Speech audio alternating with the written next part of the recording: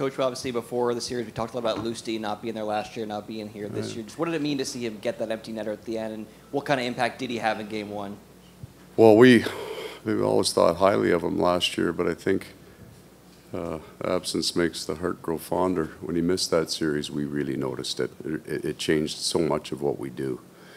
Um, he's been a really good player for us this year. He's one of those guys on a team that that doesn't get mentioned first, but if you come into the room, he's one of those guys you need, right? He's one of those all-around players that grinds hard, that makes good plays, that blocks shots, that's probably focused on the defensive side of the game, so it doesn't get quite as much notoriety, but really important part of our team.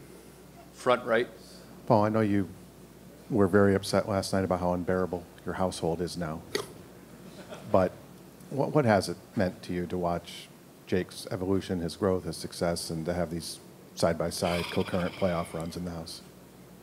You're just a dad, right? Like, so I think my overall favorite part is he's fallen in love with a game that I did, but found a different way to fall in love with it. And is probably more passionate about it than I am. So that's a fun thing to watch your kid go through to you always want them to kind of like find a purpose, find their thing, find their reason. And and he hit it at 16, right? He got this kind of unusual break to call a game, and he was just wired for it ever since. So, yeah, I, I'm thrilled for him. It's really important um, to be associated with such a good organization, so very well run.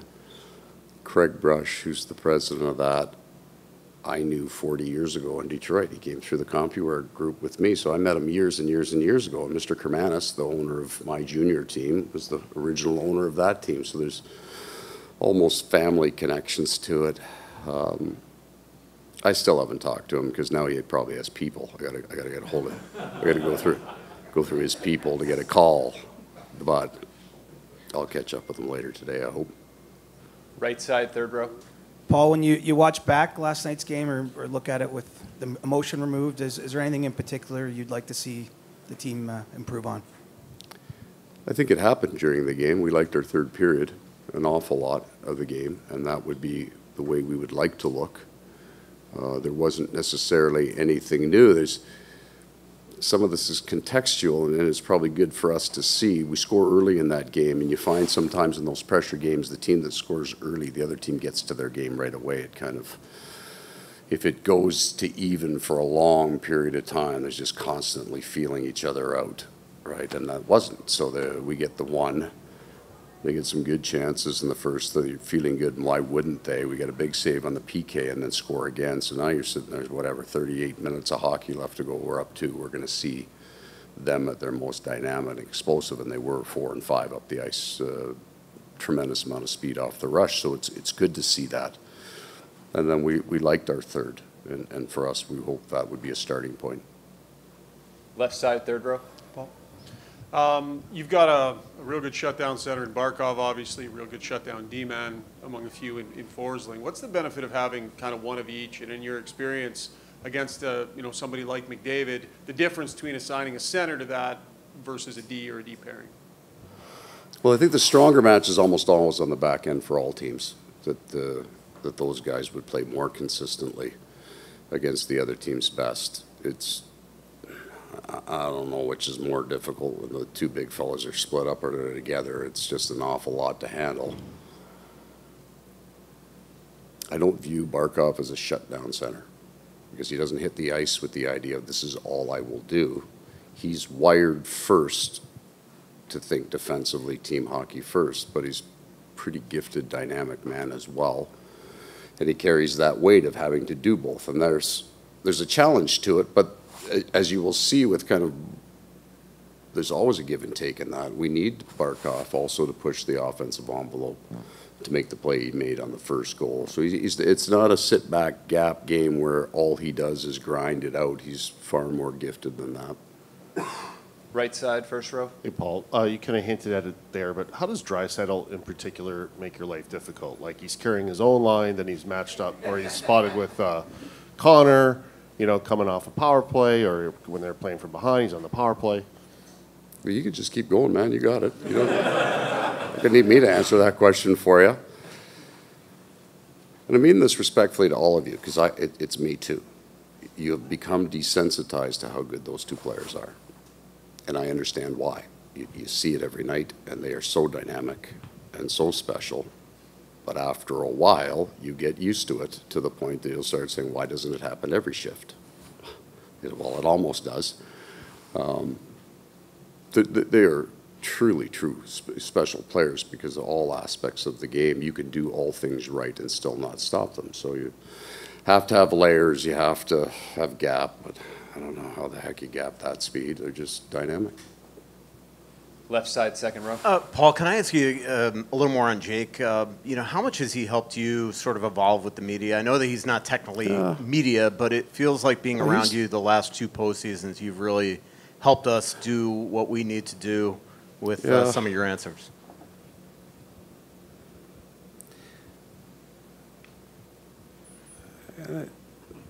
No, I've got it. It's, it's, it's just the first thing that pops into my head isn't the last two years. It's so my kids weren't allowed to get autographs uh, growing up.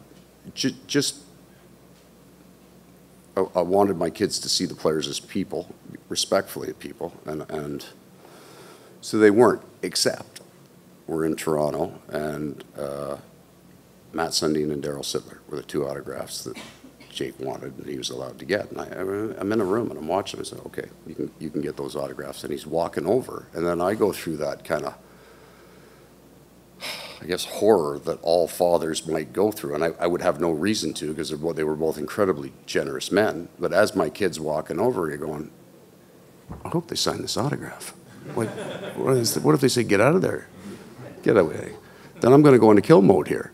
Like, you, and I, and I, so then I realized all of you are the same in some ways, right? Like you're somebody's kid. I know it doesn't translate the well, but you start to see then your your kid in the media.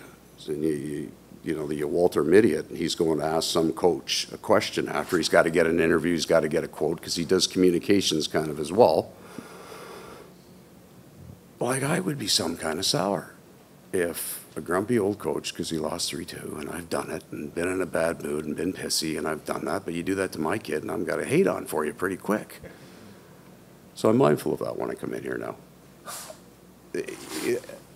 I'd like to think I was reasonably generous with my time and try to be thoughtful when I answer my questions. My first stint with the media was in 2004, I think.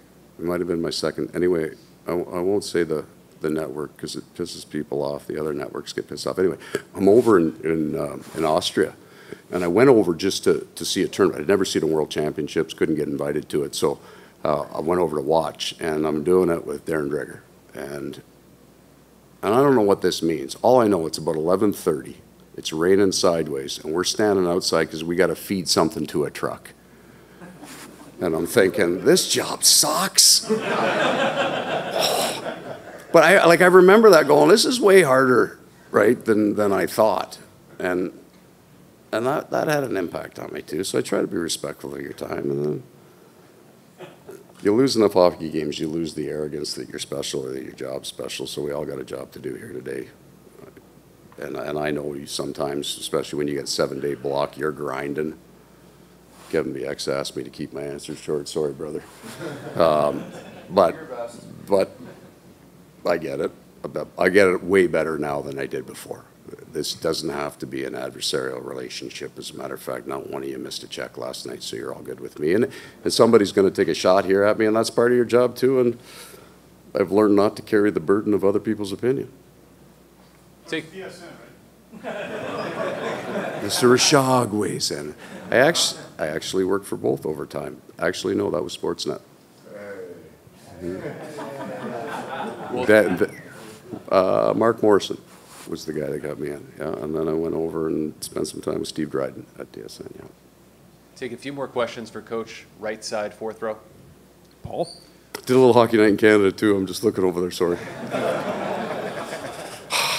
So you've been doing this for a while. Uh, I'm asking you about guys who are playing hurt.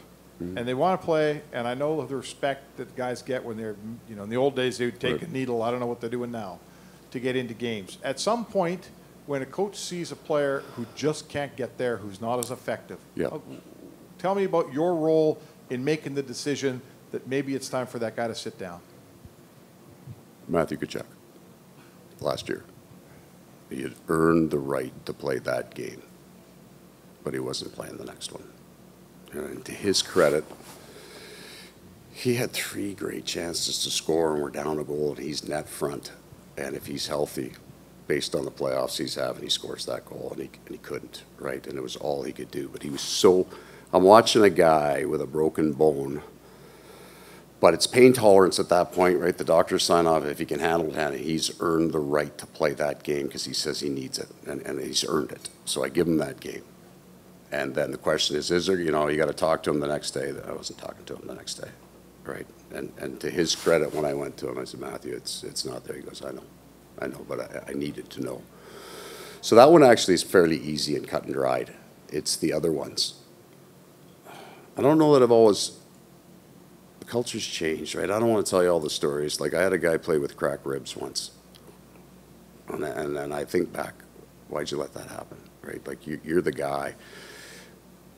But this is how much better the game is now. I'm not the guy making that decision anymore, really, truly. Like anything above the shoulders, anything, it's got nothing to do with me. Anything that's even remotely concussion related, and I don't mess around with that. And I, don't think any coach does. Truly, we, we've seen players, you know, deal with it. It was different 30 years ago. It just was. So the science has evolved. You get to know your players, what their pain tolerance is, what they can deal with, and at the end of the day, is he better than the 13th guy? And then there is there is a moral line there as well. I can play, I can play. I know you can, but you're not, and you have to do that. Two more for coach, front left. Uh, Paul, what was it like? What was the feeling driving to work this morning, knowing you didn't play your best game, but you got to it in the second, and you're still up one nothing? So that's a, so I had that, went through that, and um, it, it's the same as almost everyone, right? What can you learn from the game is the most important thing. You know, where can you get better?